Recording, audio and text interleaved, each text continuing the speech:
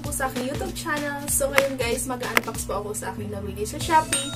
So ngayon guys, i-unbox ko itong aking nabili sa Shopee na MV800 condenser sa work 1,290 pesos lang siya with ano na siya, uh, FB V8 sound card na rin siya guys. So, i-unbox po natin siya guys kung maganda yung sounds niya. At saka pala guys, pwede rin siya pang vlog, ganyan. Pang live. Kasi nga minsan pag nagla-live tayo, tayo, lalo tayo mga YouTuber, is uh, sobrang minsan mahina yung boses natin. So, ang ganda rin ng packaging niya guys. Ayan, ganda ng pagka-packaging niya. At mabilis din yung delivery niya. Bali, in-order ko lang to nung 2 days lang siya guys. Dumating na siya kagad. So, ito na. Ito na siya. Ayan. So, ito na po siya guys. Ayan. Nakita nyo. Ayan. So, bubuksan natin. Tama ba pagbukas ko?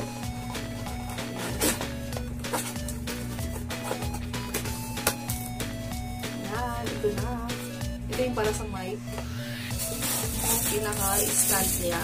Ganyan, ikakabit niya. At syempre, ito yung mic natin. Ganyan. Ganda ng pagka-packaging na. Pwede na rin. Ang ganda. So, mamaya iti-check. At syempre, ito yung Ay, hindi ko alam ang tawag nito. Basta ito yun.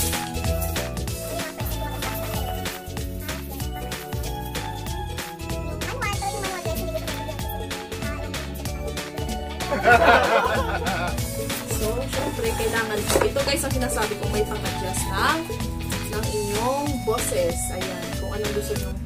Gusto nyo mas malalim, mas matinis, ganyan.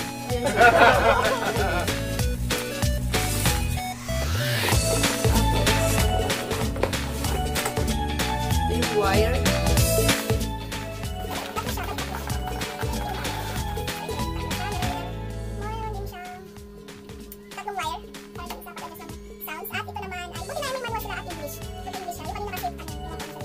So, yun lang guys. Ipapakita ko sa inyo mamaya kung maganda yung sounds niya.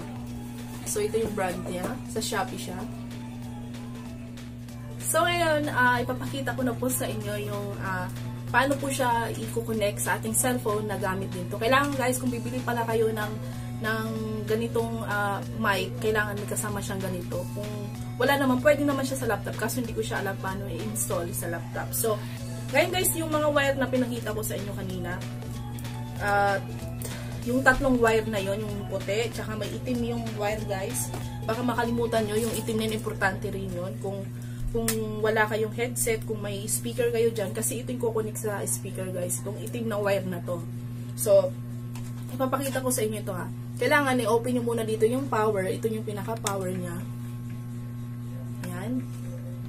Ayan, nag-iiba-iba po yung kulay. Ito yung para sa speaker. Ito, ilalagay natin siya dito sa earphone. Ayan, dito natin siya ilalagay. Papunta doon sa ating speaker, kung speaker ang yung gamit. Pero kung wala naman guys, syempre, kung may headset kayo, ito ang gagamitin yung headset. Ito. Ito para sa headset to guys. At, ikukunin ko muna to ha. Para maguluhan kayo. Kunin muna natin yan dyan. Ito para sa speaker or headphone or headset. Ayan. At, wait lang. Ito naman ay para sa, uh, kung hindi cellphone ang gamit nyo, ito naman ay para sa computer o laptop. Ayan. Ilalagay natin ito ang ipapasok natin dito. Ayan. Dito natin ilagay sa live 1. Dito natin ilalagay sa live 1. Ano ba sinasabi ko? Ayan, live 1. Ayan, live 1. Tapos, ikukunik natin to sa computer, yung pang headset doon sa computer, ito yung kukunik natin doon sa computer. Yung ating mic, na, ano ko, na naayos ko na siya. So, itong mic naman ay dito natin ilalagay sa, nyo, dito natin siya ilalagay. Kung napansin nyo itong malaking, ano na to guys, itong dynamic mic. Yan po ay yung, pwede po siya sa, sa pang video okay natin guys. Di ba may mic tayo pang video okay? Pwede rin siya dito ilalagay. So, ayan na. Dito yun ilalagay.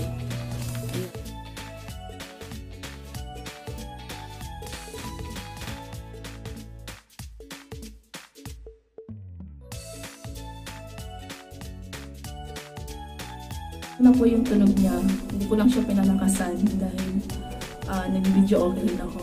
So, yun po yung aking bagong mic. Pali ginagamit ko lang naman siya talaga sa pagkanta. Hindi siya totally sa pagla-live kasi hindi na ako nagla-live. So, abangan nyo na lang yung aking live sa masusunod na araw, ganyan. So, thank you for watching guys and I hope na-enjoy kayo sa aking mixing video. Ayan. Thank you for watching guys.